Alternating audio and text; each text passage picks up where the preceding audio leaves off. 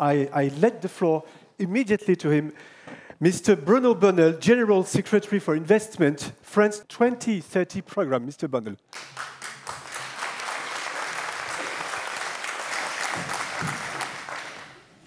Um, good morning, everyone. Uh, I'm delighted to be here. Uh, I have the tough task to wake you up for this hybrid day. Uh, not so easy um, after this uh, wonderful weather in Paris, right? You're here. More seriously, we live a, we live a true revolution in uh, healthcare industry. And um, when you go through this uh, time where everything is changing, as a government, you have like three conditions to succeed. The first one is a will, determination in really digging a field and effectively deliver and help to deliver solutions. This will is strong in France. Second is a way. A way is uh, a strategy, and uh, I will, in a few minutes, detail a bit of it. But this strategy is necessary to gather all the working forces to make it happen. And third, our souls or people understanding and executing the strategy to uh, effectively win and succeed in finding those solutions. And it's based on this that uh, Emmanuel Macron, Mr. President de la République, has decided um, two years ago to set up uh, the Secrétariat Général pour l'Investissement, General Secretary for Investment, with 54 billion euros in different innovation fields, one of them being health. Health was uh, given 7.5 billion euros to really investigate what could be innovation in health in the future. It's called l'Agence d'Innovation Santé, led by Lise Alter, who will be here, I think, tomorrow, facing you and, and giving you more details about this agency is organized. So this, this is showing the will. The way is based on these new strategies, and of course, uh, all the discussion you'll be having during these two days are at the heart of it, that effectively um, we as France want to be part of this uh, bioengineering, biotherapy revolution. And it started already, but it's been given in a form, in a very clear form by the president. 20, 20 biomedicine should be effective by 2030 in France. That's the, that's the, the way that it's drawn, is drawn. So clearly instead of just saying, okay, we'll give money to research or we'll support uh, almost randomly some startups or we'll give big speeches about it, he preferred to say, this is the goal and be selective and SGPI, which I'm running, is extremely selective in the projects we're supporting. It's about one of three presented that we are selecting for support, different kind of supports and the, with the purpose of delivering this 20 uh, biomedicine.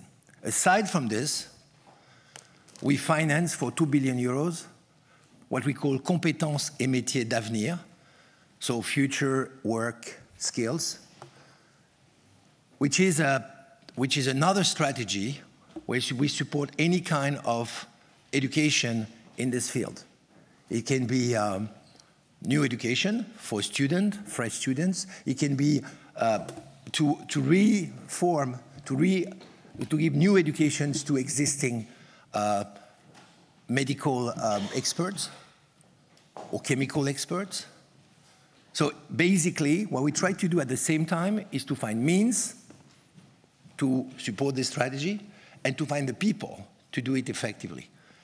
Because it would be a big mistake to build, you know, walls and, lab, uh, and laboratories and to build you know, production facilities, if we're missing the women and the men inside, it won't work. So I don't want to uh, pile up numbers everywhere. I can tell you that already in the course of two years, we have engaged at the um, France 2030, that's the name of the big plan, France 2030, this 54 billion plan. We've already have uh, engaged 30 billion euros. So we're on track in terms of really pushing hard to make things happen, on which probably on the same percentage, probably uh, we are uh, right now in the uh, health sector, which represent uh, close to uh, 500, billion, uh, 500 million euros supported already by, by SGPI.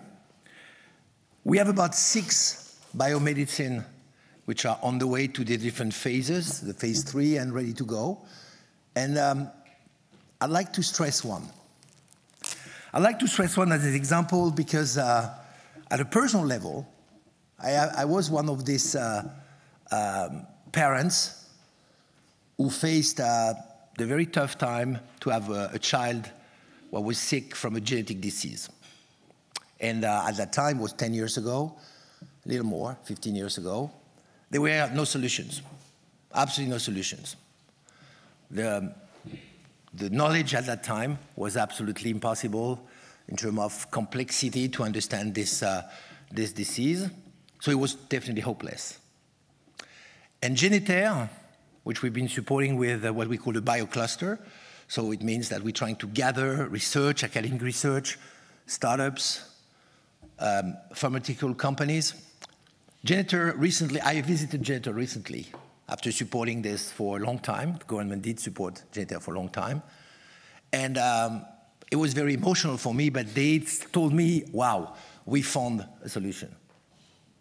And it's really important because I want to explain to you that we don't just are governmental people or uh, we don't just think out of the, out of the context of a political uh, competition. Because, you know, on my notes here, the big debate is, is France ahead of Germany or is uh, England ahead of Italy? Uh, and it doesn't matter, in fact. It's more like the Olympics, and, and as you know, Paris is welcoming the Olympics. We're all performers. We're all in the same goal to really ease the pain of zillions of people across the world facing new uh, sicknesses, facing uh, new diseases. And we know that through this revolution, through these genetic therapies, we will find ways to cure things that were just impossible to imagine only 10 years ago.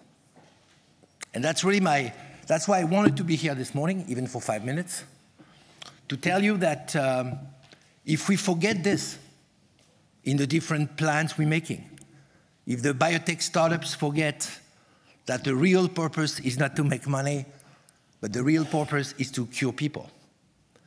If we forget that it can only work by the collaboration of people, by the association of ideas, by tests and trials, and failed, failing and bouncing back.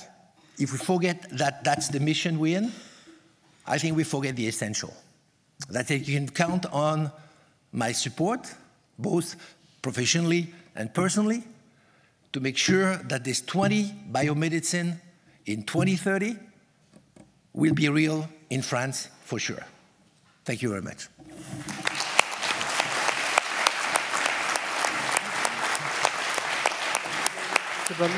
Okay, thank you. Thank you very much, Mr. Bonnell, for this uh, very positive introduction.